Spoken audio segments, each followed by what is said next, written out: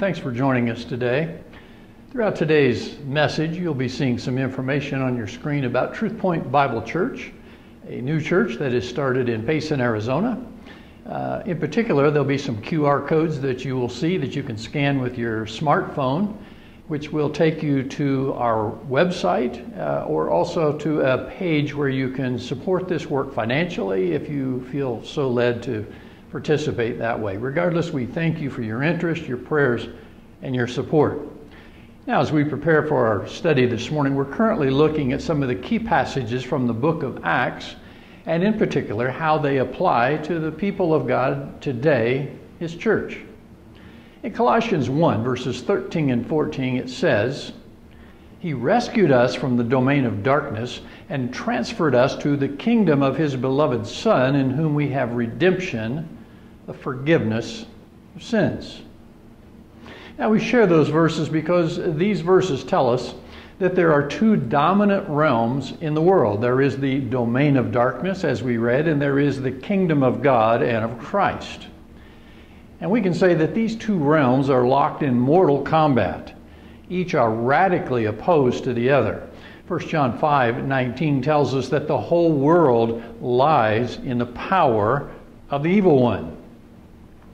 As such, then, there is a tension uh, between, as Jesus described in his parable of the wheat and the tares found in Matthew 13, there is a tension between the sons of the kingdom and the sons of the evil one. Now, in Acts 4, our main text this morning, it details how that conflict sometimes plays out. So let's frame the background before we get into the details of our text. So the apostles, Peter and John, had been used in the healing of a man who had been lame from birth. And this great miracle took place before many eyewitnesses, and as such, as we might imagine, it caused quite a stir. Now, Peter explained that the miracle was attributed Jesus, to Jesus, who had been resurrected from the dead, of which he said they were eyewitnesses. And he explained that Jesus had been killed according to God's predetermined plan, but those present, many of those present, had participated in the actual plot to have him killed. And so Peter appealed to them to repent and to return and experience the presence of Christ and also times of refreshing as they awaited the period of restoration through Christ when he would return. Now, with that said, we pick up in verses 1 to 3 in chapter 4. And it says, As they were speaking to the people, the priest and the captain of the temple guard and the Sadducees came up to them, being greatly disturbed because they were teaching the people and proclaiming in Jesus the resurrection from the dead. And they laid hands on them and put them in jail until the next day, for it was already evening. So here we see that the message about the resurrection of the dead through Jesus was a real key point of contention with these religious leaders. And these religious leaders vehemently denied the truth of resurrection, and of course, especially through Jesus, whom they had rejected. And their response was to silence Peter and John, who were proclaiming this radical truth, and they did so by having them put into jail. And the next verse that we read in this chapter explains why this was not the end of the matter. Reading on in verse 4, it says, But many of those who had heard the message believed, and the number of the men came to be about 5,000. Now, it was enough that Jesus' popularity had been a thorn in the side of the petty religious leaders who thought they had ended it all with Jesus' death now here his disciples are carrying on with Jesus' teaching, and the growth of this movement has caused even greater problems for these rather petty religious leaders. Now, the following verses tell us that a trial was held the next day, and it was presided over by the very same Jewish officials who had put Jesus on trial and that they had now called for an, an, official explanation as to the miracle that was performed on this lame man. And so we read on in verses 8 to 12. It says, Then Peter, filled with the Holy Spirit, said to them, Rulers and elders of the people, uh, if we are on trial today for a benefit done to a sick man as to how this man has been made well, let it be known to all of you and to all the people of Israel that by the name of Jesus Christ the Nazarene, whom you crucified, whom God raised from the dead, by this name, this man stands here before you in good health. He is the stone which was rejected by you, the builders, but which became the chief cornerstone, and there is salvation in no one else. For there is no other name under heaven that has been given among men by which we must be saved. Boy, Peter's response that we just read, it, it, literally bristled with authority through spirit power. So much so that we see the response of the Jewish leaders uh, in the next verse, verse 13, where it says, Now, as they observed the confidence of Peter and John and understood that they were uneducated and untrained men, they were amazed and began to recognize them as having been with Jesus. So these leaders saw something of the authoritative teaching of Jesus in these men, which defied their background and their education. And the explanation was that they had become little Christs, we might say, so to speak, because these were men who had been with Jesus and now had some qualities they saw in Jesus. So a full blown crisis now confronted these religious leaders. The miracle was absolutely undeniable because the healed man was present there and served as a testimony. And so they were unable to silence the teaching of the resurrection of the dead through Jesus. So uh, the only thing they could do was resort to the only tactic available to them, and that was to suppress those who were speaking this threatening truth. So, verse 18 of chapter 4 says, And when they had summoned them, they commanded them not to speak or teach at all in the name of Jesus. Now, this was a very real threat to Peter and John because these were the same men who had successfully sentenced Jesus to death. And so they were indeed a force to be reckoned with. But then notice this amazing response from Peter and John. Verses 19 and 20, reading on down in Acts 4, says, But Peter and John answered and said to them, Whether it is right in the sight of God to give heed to you rather than to God, you be the judge. For we cannot stop speaking about what we have seen and heard. So Peter and John drew a dangerous line in the sand. They decided that these men were on the side of the line opposite of God, whom they had claimed that they served. And for their part, it was impossible that they could refrain from speaking of what they had seen and heard, as we just read. And this is significant because, you know, an eyewitness describes and declares what it is they've seen and heard. And that's exactly what Jesus said at the start these men would do, because we go back to chapter 1, verse 8 of Acts. And Jesus said, You will receive power when the Holy Spirit has come upon you, and you shall be my witnesses. So we see that this is the very thing that they were doing, and it was proving to be dangerous, and then it ultimately would prove to be deadly. So, aside of threatening them, the religious leaders took no further action at this time, and they released Peter and John from prison. And so Peter and John went to their church family immediately after they were released, and they reported what it was that had happened. And the response of the church is especially noteworthy for us as we read on verses 24 to 31. And it says, When they, referring to the church, when they heard this, they lifted their voices to God with one accord and said, O Lord, it is you who made the heaven and the earth and the sea and all that is in them, who by the Holy Spirit, through the mouth of our father David, your servant, said, Why did the heathen, did the Gentiles, excuse me, rage, and the peoples devise futile things? The kings of the earth took their stand, and the rulers were gathered together against the Lord and against his Christ. For truly in this city there were gathered together against your holy servant Jesus whom you anointed both Herod and Pontius Pilate, along with the Gentiles and the peoples of Israel, to do whatever your hand and your purpose predestined to occur. And now, Lord, take note of their threats and grant that your bondservants may speak your word with all confidence while you extend your hand to heal, and signs and wonders take place through the name of your holy servant Jesus. And when they had prayed, the place where they had gathered together was shaken, and they were all filled with the Holy Spirit and began to speak the word of God with boldness. So, the first response, and this is significant, the first response of the church was that of prayer because it says, with one voice, meaning they were in complete unity, they acknowledged, first of all, the sovereignty of God. And they were drawn in prayer to Psalm 2.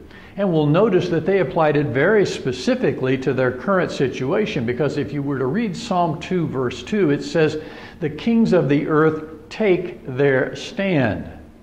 Now, they referenced it in the past tense because in the prayer they prayed, the kings of the earth took their stand.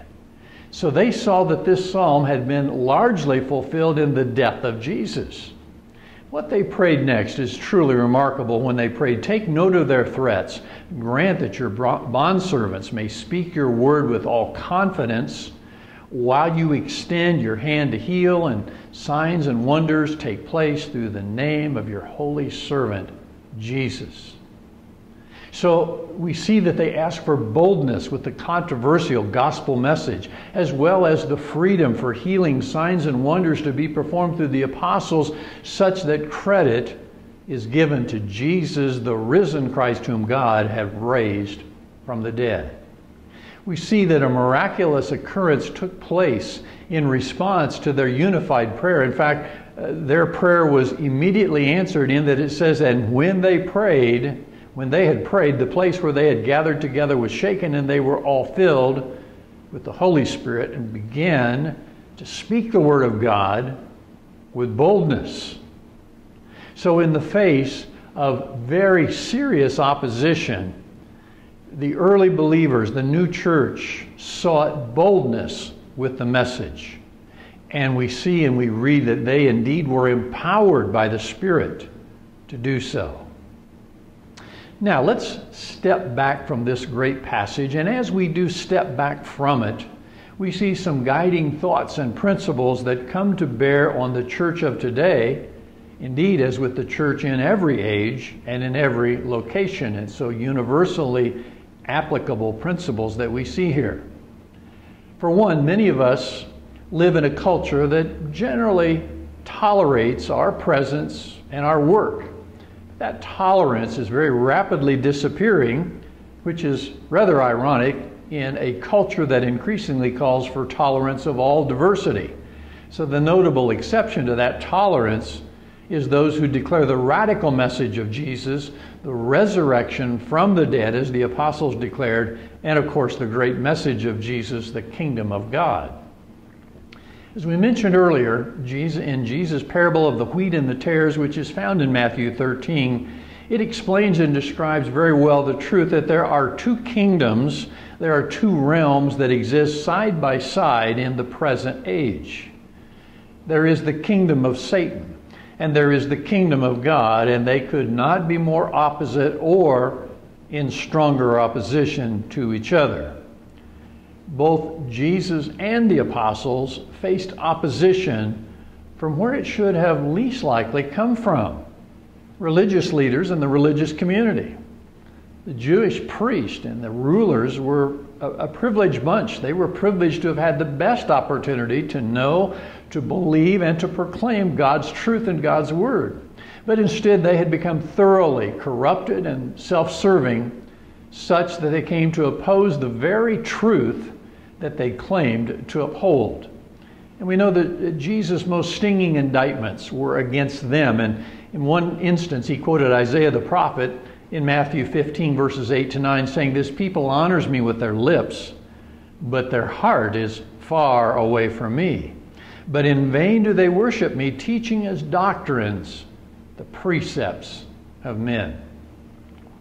As we today declare the same controversial message as the apostles in Jesus, the resurrection of the dead, according to chapter 4, verse 2, we, we may and likely will face pushback from today's religious community in an ironic sense.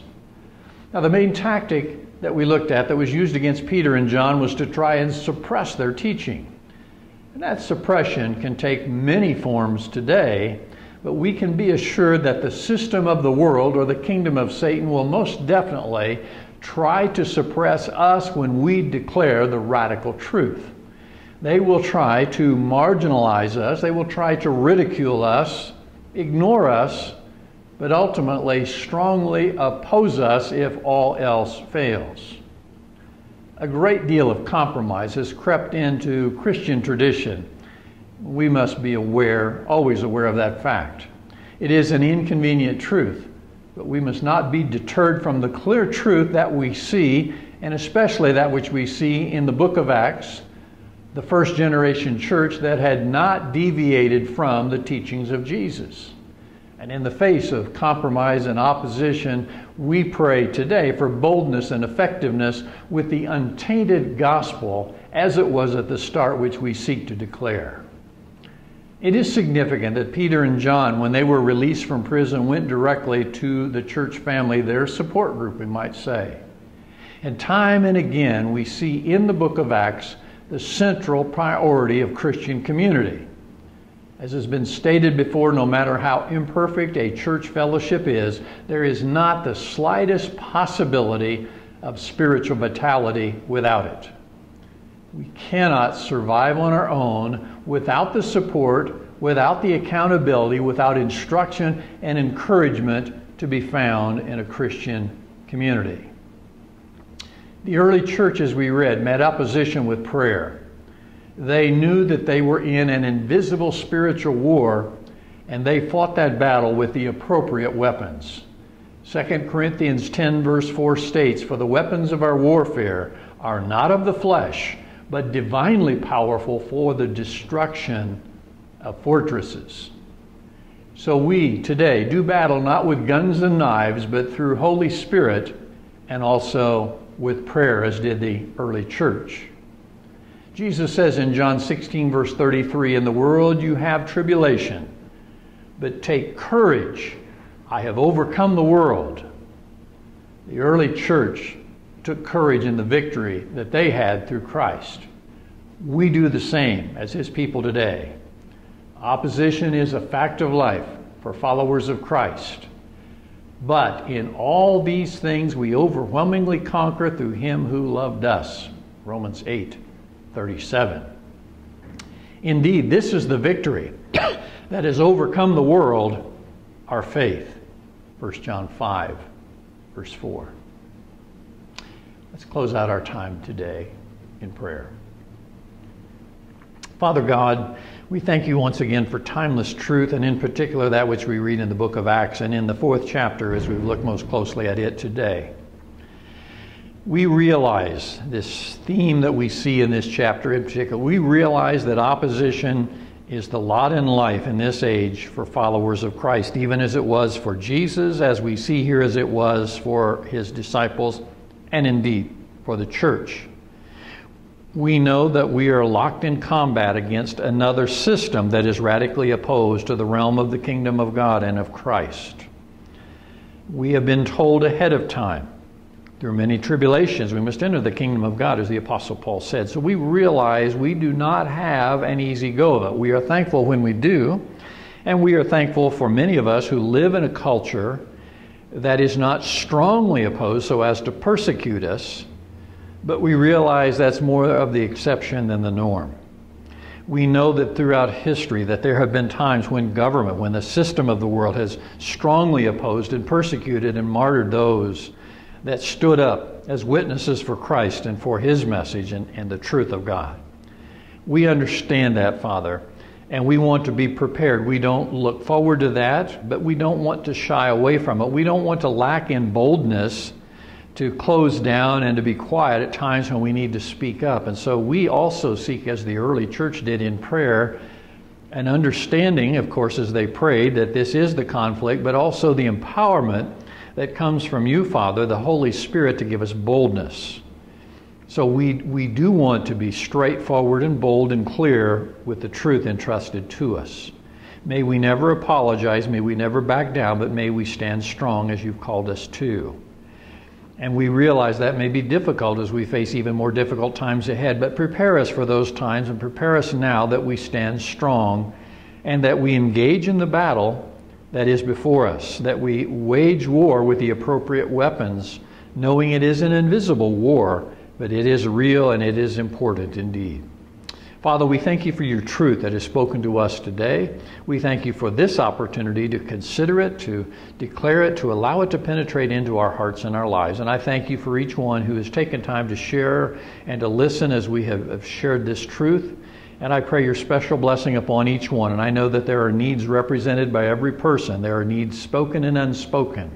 And I pray, Father, with your awareness, I just pray for your mercy and help in each situation as is needed. Father, we thank you for this time. We thank you. We come before you together in your presence with one heart and accord in accord as the early church prayed. Thank you, Father, for hearing us and receiving us. Lord Jesus, we thank you for being our mediator, representing us before the Father. In your great name we pray. Amen. I thank you once again for the tremendous privilege to share God's word and truth with you. And I just pray that it would have its perfect good effect in your life. I thank you for being attentive to what we have shared. And uh, again, it's been a tremendous privilege to have you share with us. I look forward to a future opportunity and trust that you'll join us as we once again turn to God's Word to study it and to apply it and to allow it to have its good work in our lives. Until that time, so long and may God richly bless.